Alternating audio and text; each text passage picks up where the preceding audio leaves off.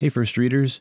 Your hosts are taking a few weeks off this summer to work on other projects, so we're bringing you a series from the First Reading Vault, our walk through the Genesis lectionary texts from back in 2020. There are a few pandemic references in here because, well, that's what was happening in 2020, but there are also some real gems in here to help with your preaching this time through year A in the RCL. So enjoy the episode, and we'll see you again with new content later in the summer.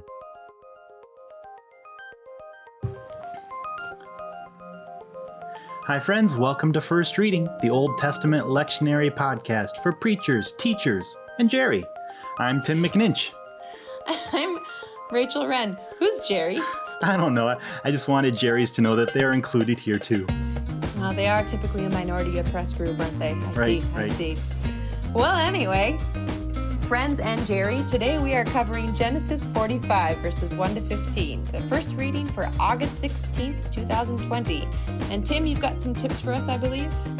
Yeah, yeah. So this is part of the conclusion to the Joseph story that you introduced us to last week.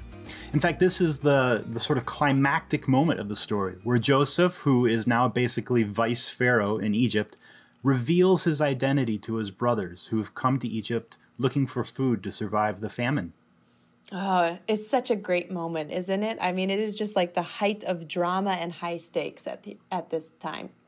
Definitely. In fact, this makes such a good story that it can be kind of hard to preach without kind of killing the drama of the story. Uh, and perhaps I could frame that as as our first sort of preaching pitfall. Preaching this moment in the story in isolation is kind of like telling the punchline of a joke without any of the setup. The the lectionary gives us the beginning of the story last week in the passage that we talked about with Joseph's brothers selling him away. But if you as a preacher jump straight from there to here without any of the stuff in the middle, it can be way confusing. Like, wait a second, Joseph was sold into slavery and now he's in charge of all Egypt? That's absolutely true. Uh, and it, it feels very relevant to my life because my kids are at the age right now where they love knock knock jokes. So Uh-huh. we tell lots of knock knock jokes. So it'd be like saying, knock knock. Who's there? Aren't you glad I didn't say banana? Exactly. All right. So, how can preachers deal with this giant gap? well, you could always toss out the lectionary and just preach this Joseph story, this Joseph novella, as kind of a longer series of its own. And I think there would be a lot of good hmm. that could come from that. Yeah. Or if you want to do last week's text and then this week's text, I would really recommend devoting a little more time to selecting some helpful excerpts from the story to read in addition to this climactic moment. Hmm. W- mm-hmm. One of the plot points to definitely make note of is that this isn't the first time that Joseph and his brothers see each other again. By this point, those brothers have been back and forth a number of times, and Joseph, who is still unrecognized by his brothers, he's he's kind of put them through an emotional wringer, pretending to think that they're spies and thieves. He's made them fear for their lives and fear for the life of their elderly father Jacob back in Canaan. And those details of the story make a big difference in how we interpret what happens right here in this section. Well, and I think you pulled out such nice, quick ones that wouldn't be hard to include in a sermon. I think that giving that sort of context could be done pretty quickly. Mm-hmm. So, okay, so with all that in mind, what do you see going on in this section that we do have from the lectionary? Yeah. Well, perhaps the, the key content, the key moment here is the idea summarized in verses 7 and 8. Joseph says, God sent me here to Egypt before you in order to preserve a remnant. So it wasn't really you who sent me here, but God. Hmm. Now, I want to highlight there another potential preaching pitfall. It's tempting to preach this as, see, everything that happens, even the terrible things, are actually part of God's plan. Yeah, I've heard that one before. Yeah, and in a way, this text does say something like that. But you probably don't need me to tell you that when you preach that kind of doctrine of divine providence, you run the real risk of minimizing people's actual suffering and trauma. And in effect, asking them to get over it because it's actually part of God's grand plan. That's a great point. Now, um, this here might be a little too anchored in our fleeting news cycle by the time that this goes to post, But we're recording this just a couple days after a prominent and notably white megachurch pastor tried to make that same sort of uh, theological jump about slavery. He said it was awful, of course, uh, but that God still used slavery to set up a society with lots of blessing and prosperity for white people. Oh, so instead of saying that slavery manifested white privilege, he proposed that we call it white blessing. oh, I just threw up in my mouth a little. Now, there's all sorts of problems with what that guy said. But part of the reason that a nice white guy and veteran pastor could say something so torturously racist is because he was trying to ram the square peg of the evil of slavery into the round hole of this doctrine of God's providence. And that doesn't work and it's dangerous. Absolutely. Yeah. No, I think that's a really helpful because it can feel so easy to say, and a lot of our parishioners can say it. Um, at least it's something I heard a lot. But when you stretch it out like that, you can really see how dangerous of an idea it actually is. So, okay, so what do you do about it in this text? Because the text really seems to be saying exactly that, doesn't it? That's that's true, and I also want to say that for all of that, I, I actually do believe in God's providence over what happens in the mm. world. But it's a doctrine that requires some nuance, mm. and I think this text actually gives us some of that nuance. For example, even though Joseph does credit God with using his brother's treachery to save Egypt and by extension to save Jacob's whole clan, he still names their sin in verse 4, saying, You sold me here.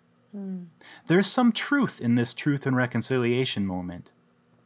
In addition, uh, Joseph doesn't forgive immediately, but only after in the previous chapter, Judah offers to rescue Benjamin by taking his place as a slave in Egypt.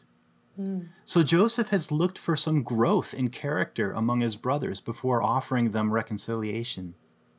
And that's so beautiful too, because it was Judah's idea to sell him in the first place. Exactly. And there's even a kind of a sort of kind of reparation required in that the brothers, the ones who sold Joseph away out of jealousy for their father's love, are tasked by Joseph with reporting all of his successes to their father. Hmm. see, see verse 13 there. You must tell my father how greatly I am honored in Egypt. That's good. So, bottom line, even though Joseph frames all of this as God's doing, human agency and responsibility isn't erased. Joseph's forgiveness of his brothers is a gift of grace when he would have been within his rights to seek revenge. But Joseph chooses grace because, not because he sees that this was God's plan all along, so to speak, but that he sees that God has used even his brother's treachery to overcome a devastating evil. I think that's so important and so well said, Tim, because one of the one of the most dangerous aspects of the doctrine of forgiveness is it can lead people to think that they need to give up part of their wholeness as a human being, that they need to sacrifice their ability to to really demand being treated as a whole human being and instead they should just forgive over and over again. And what you just said holds both of those in tension. I think that was really well done. Yeah, I think you need to hold those things together. And I think that's that sort of uh, approach is the way to preach this kind of doctrine of divine providence from a text like this. I, I think it's right to affirm that God is still in control of things. Chaos and evil are not going to win in the end. But those forces aren't like part of God's design. Rather, they're factors that God overcomes and sometimes even commandeers to bring liberation. Nice. God can even turn our own pain towards good for us, often by using that pain as a way to help us connect with and help others who are suffering. And it's important to reiterate, as this story does, that providence is a hindsight doctrine. Uh, What I mean by that is that you can only recognize God's providence in the face of unexpected good. It's not a way to explain away present evil and pain and trauma. It's not a get over it and move on type of doctrine. And the reconciliation that happens in this passage comes with truth telling and restorative justice. I think that's a fuller, thicker way to talk about the good that God brings about in this text and in our world. Preacher friends, I hope you take what Tim McNinch just did and take it almost verbatim and put it into a sermon because I think that is a sermon that so many Christians need to hear, that we need to hear as pastors, that our people need to hear, especially in this moment when chaos is raging around us. So, amen, Tim, and preachers, take that and run with it. Well, I think that's a perfect place to end for the day. I feel inspired, and I hope you all do too. Th- Tim, thanks for that great work. No problem.